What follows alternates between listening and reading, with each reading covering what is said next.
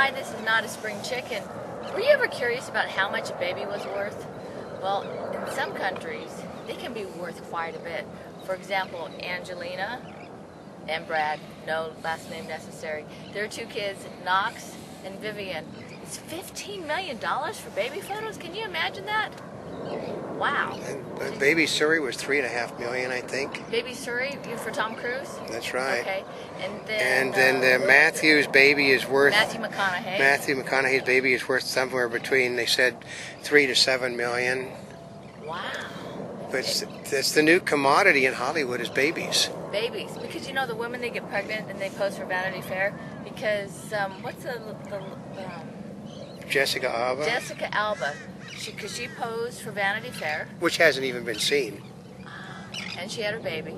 So between that, I think she made more money off of getting pregnant than she has for how many of her movies? Yeah, she's never made. Okay, she's never made as much money. They said at least one of the gossip people said she's never made as much money as an actress as she did getting pregnant.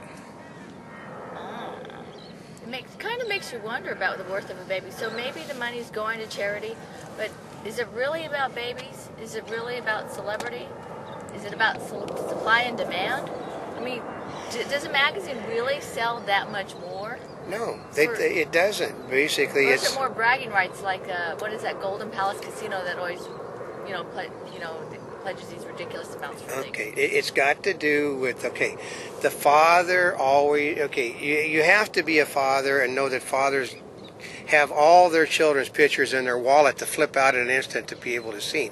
The mothers all want their child seen, but the mothers all feel that when they're pregnant they glow and they're the most beautiful thing on earth, and they all want people to see how beautiful they are. The women that would never See, take I- their I- clothes off do that. I don't understand that women that don't take their clothes off take their clothes off when they're pregnant and want to see. Yeah. I don't understand that. Maybe it's just me. Maybe it's because I've never been pregnant, or maybe I, like many, are I'm totally perplexed about that. Well, no, it's a it, okay. A pregnant, it's got to do with you never being pregnant because, uh, uh, uh, okay, the uh, the whole line. Uh, most of my relatives are all female, so I, I know what the line is. With the all the husbands will tell the wives, "You've never been as beautiful as this," because the wife has got a really sharp temper when they're pregnant. The women are all, "Oh, you're glowing," you know, and it make the wife beams, Just you know to calm them down. just to calm them down. But uh, it's uh, it's strictly a Or it wo- could be like that honeymoon glow, like when they're in love. yeah. But it's got to do with you know also the fact that they have now figured out actors and actresses. Okay, Matthew McConaughey has not had a hit in so long. I know, know, we like a like multi-million dollar payday for a baby is a big thing. And you know they've got a lot of actors and actresses out there right now that careers are going down the toilet are basically getting pregnant just so they can get into publications. So do you think we'll seeing more? I mean, this is not like China where after your first kid, I think you get benefits after your first kid. After your second kid, you get your benefits taken away. Here, they just make all these millions of dollars for first babies, um, pictures of babies, for being pregnant, for all these different things. Now, is that better than getting paid money for um, wearing no underwear and getting out of cars? Well, well, it's actually. It, it, Or maybe it's the same line. One leads to the other. it- yeah, getting out of one, under, getting out of cars without underwear may lead to the getting the money for. No, I mean that's just. Uh, but uh, baby, the people, you know, I you know I I go along with the people that don't want to have pictures of their children being seen, because they don't want to make their children objects. I mean, I know uh, actors Oh, that's right. We're the old guard. They the old guard see, wanted to protect their privacy. children. I mean, um, I know I know people, for instance, that basically, you know, they, hey, mom, you know, I, I got a chance to be on, you know, in the L.A. Times this week because I'm a football, I'm in a football team, and they say no, because they don't want those pictures of their children out there because they're they're trying to protect their children from the paparazzi. Today, the same. What I'm amazed is the same people that bitch about the paparazzi are the same ones that are selling pictures. Does that go hand in hand? It kind of makes you wonder. I mean, when we were in the, the talent panel at EMA, we were listening to Robert Fuller And Peter Brown, and what they were sitting there talking about the paparazzi getting out of hand. And yes, It can very much get out of hand. They can be very intrusive. I've been in a car accident because They backed they into I, you They thought I was somebody. because they were they were chasing Britney Spears to be perfectly exact, and And, And- the reason I knew they were chasing Britney Spears and had just come from there was they showed me their footage. yeah, but it it totaled. No, it totaled the car that you were in. It, it went bye bye.